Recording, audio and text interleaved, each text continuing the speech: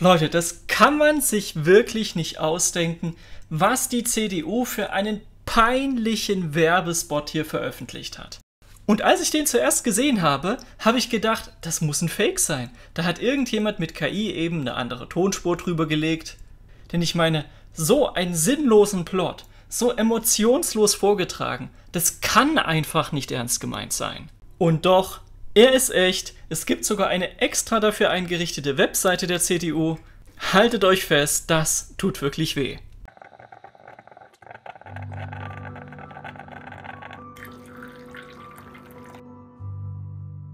Zucker oder Salz, Herr Vogt? Zucker bitte. Salz schmeckt doch gar nicht. Ich kann wirklich jetzt schon nicht mehr. Also wie es Herr Vogt wirklich schafft, diese zwei Sätze völlig emotionslos vorzutragen. Als ob er wirklich sogar diese zwei Sätze noch ablesen müsste. Und es tut mir leid, aber das Ganze dann noch mit einem schauspielerischen Talent von der Essiggurke. Wer bei der CDU hatte bitte die Idee für dieses Skript? Und das Schlimme ist, es geht noch weiter. Sehen Sie, manchmal sind die einfachsten Entscheidungen die wichtigsten.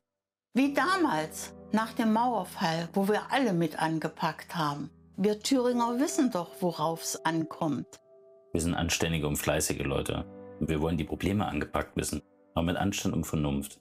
Wissen Sie, Herr Vogt, ich bin alt genug. Wenn ich manche so reden höre, mache ich mir große Sorgen. Das habe ich alles schon erlebt. Wir Thüringer lassen uns doch nicht den Kaffee versalzen, oder? Oh, bitte, liebe CDU, für wie blöd haltet ihr eigentlich eure Wähler? Also mal davon abgesehen, dass diese Bestrebungen, die Oppositionspartei zu verbieten, dass man hier ganz bewusst die Presse- und Meinungsfreiheit einschränkt, indem man ein unliebsames Magazin aus dem Verkehr zieht, weil es wohl zu regierungskritisch war, oder Regierungsentscheidungen, bei denen sich ganz bewusst über wissenschaftliche Erkenntnisse hinweggesetzt wurde und diese auch niemals öffentlich geworden wären, hätte nicht jemand vom RKI so ein schlechtes Gewissen gehabt, dass er die Files ungeschwärzt veröffentlichte, das lässt mich tatsächlich an Zeiten erinnern, die ich im Geschichtsunterricht gelernt habe. Aber jetzt kommt der beste Teil, es wird nämlich noch viel absurder. Solche Gespräche werden in vielen Küchen und vielen Wohnzimmern in Thüringen geführt. Denn diesmal geht es um mehr als Politik. Ihre Entscheidung prägt unser Land für die nächsten Jahre. Richtig, wer kennt es nicht? Die Gespräche über Salz oder Zucker im Kaffee in den Thüringer Wohnzimmern und Küchen. Wobei hier wohl der Zucker für die süße CDU stehen soll und das unpassende Salz für die AfD. Nein, Herr Vogt, dieses Video ist einfach nur ein weiterer Beweis dafür, wie weit die Politik von der normalen Bevölkerung entfernt ist. Und selbst wenn sie versuchen, bürgernah zu erscheinen, erreichen sie damit das exakte Gegenteil. Worüber die Menschen zu Hause reden, sind die hohen Energiepreise. Es ist die schon wieder angestiegene Inflation in diesem Jahr. Es sind die enorm hohen Steuern und Abgabenlasten, bei denen sich viele fragen, wofür arbeite ich überhaupt? Warum gehe ich nicht ins Bürgergeld? Es sind die erschreckend hohen Zahlen an Straftaten, die immer weiter explodieren. Und ja, besonders im Bereich der Straftaten gegen die sexuelle Selbstbestimmung, diese sind seit 2015 kontinuierlich angestiegen, also seitdem die CDU unter Angela Merkel die Grenzen geöffnet hat.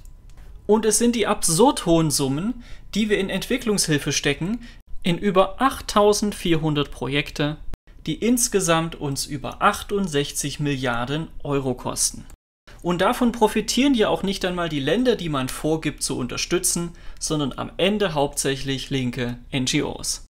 Aber da die CDU ihre eigenen Wähler wohl für besonders schwer von Begriff hält, sagt man am Ende nochmal ganz deutlich, was sie zu denken haben. Bringen wir Thüringen wieder nach vorne. Nicht nach links, nicht nach rechts, sondern nach vorn. Dafür bitte ich um Ihr Vertrauen.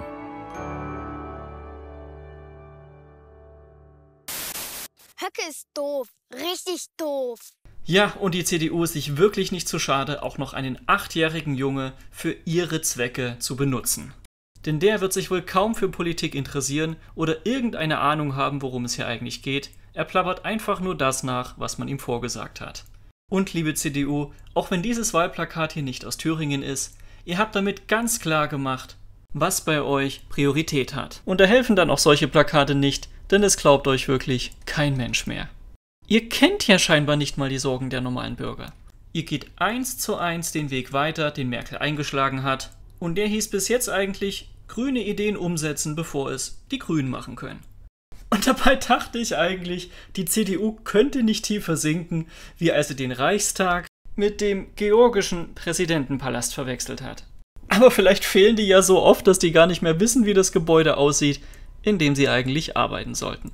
Also hier nochmal im Vergleich, ja, haben beide eine Kuppel und so Säulen am Eingang, aber ansonsten eben ein völlig anderes Gebäude. Aber auch der Spott für das neue CDU-Werbevideo bleibt nicht aus. So schreibt jemand auf X, was ist das denn? So wenig Mimik kann doch kein Mensch haben. Ist es mit Hilfe von AI generiert oder redet ihr immer so? Und eine Frau schrieb, als Thüringerin möchte ich bei diesem Clip vor Scham im Boden versinken. Und das Gefühl kann ich absolut nachvollziehen. Also das muss man wirklich erstmal schaffen. Wie kann man als Partei so tief sinken, dass man in einem Wahlwerbevideo nicht einmal sagen kann, warum man die CDU wählen sollte, sondern man will im Grunde einfach nur vermitteln, ihr dürft nicht die böse AfD wählen. Sie konnten ja wirklich nicht einen einzigen Punkt nennen, warum man die CDU wählen sollte. Und dann am Ende noch diese billige Masche mit dem Enkeltrick, guck mal, selbst der kleine Junge sagt, die AfD ist doof. Deutschland steckt in einer tiefen Rezession. Die Wirtschaftsleistung ist zum zweiten Mal in Folge gesunken. Und ja, das trotz der völlig utopischen Prognosen von irgendwelchen Politikern, die sich das wohl gewünscht hätten. Deutschland ist Schlusslicht der OECD-Länder, die Industrie wandert ab und ich kann garantieren, jedes Unternehmen, das abwandert, wird nie wiederkommen. Und dazu gibt's kein Wort von der CDU. Und auch das größte Problem wahrscheinlich für die meisten, nämlich die Zuwanderung, wird die CDU nicht angehen, denn das hat sie bis jetzt auch nicht gemacht. Dabei sehen wir die massiven Probleme durch Ausschreitungen in Frankreich oder jetzt die großen Krawalle in Großbritannien, bei der jetzt sogar eine Gruppe Briten Schutz in einem Restaurant vor einem wütenden Mob suchen musste. Die Videos dazu kann ich ja leider nicht zeigen. Und wenn sich dann ein Friedrich Merz von der CDU immer wieder versucht, bei den Grünen einzuschleimen, dann weiß man doch, wohin die Reise geht und überhaupt dieses ständige Versuchen, die Opposition zu unterdrücken. Ich meine, wenn die AfD so schlecht ist, wie alle sagen, dann könnten sich die Altparteien doch eigentlich nichts Besseres wünschen, als sie einfach mal mit an die Macht zu lassen, um dann zu zeigen, schaut mal, die können's ja auch nicht. Die haben euch viel versprochen, aber sie setzen nichts davon um. Die wissen es halt auch nicht besser als wir. Aber irgendwie glaube ich, die haben wahrscheinlich Angst, dass es tatsächlich unter der AfD besser sein könnte. Denn dann würden ja ihre ganzen Diffamierungskampagnen, die sie über Jahre aufgebaut haben, in sich zusammenbrechen. Und damit am Ende auch ihre gut bezahlten Posten. Und das wäre ja nun wirklich das Allerschlimmste. Wenn es gefallen hat, gerne teilen, liken und abonnieren und bis zum nächsten Mal.